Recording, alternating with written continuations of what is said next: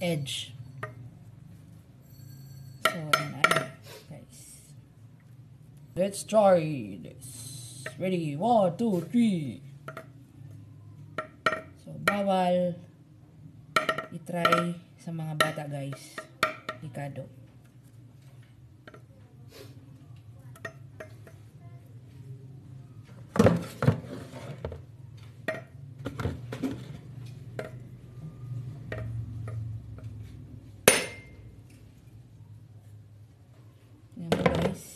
Isang hampas mo lang.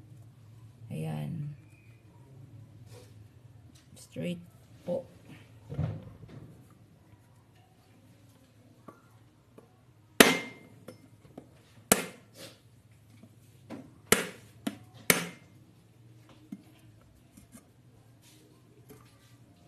Ah, di dibubuka din eh. Ano? Ay! Tingnan guys.